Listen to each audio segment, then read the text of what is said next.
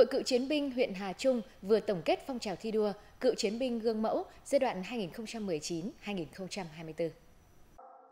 Thực hiện phong trào thi đua Cựu Chiến binh gương mẫu giai đoạn 2019-2024, các cấp hội cựu chiến binh huyện Hà Trung đã triển khai nhiều việc làm cụ thể, sát với điều kiện thực tế ở từng địa phương. Năm năm qua, đã có trên 2.600 lượt cán bộ hội viên cựu chiến binh hưởng ứng tham gia hiến trên 14.400 m2 đất các loại, đóng góp ủng hộ trên 2,6 tỷ đồng và hơn 4.300 ngày công làm đường giao thông liên thôn, xây dựng tường rào, đường bê tông, kênh mương nội đồng,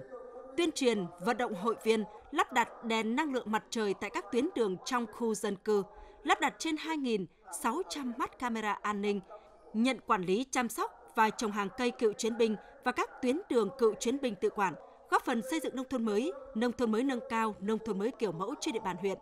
Nhân dịp này, nhiều tập thể và cá nhân đã được tặng giấy khen vì có thành tích xuất sắc trong phong trào thi đua cựu chiến binh gương mẫu giai đoạn 2019-2024.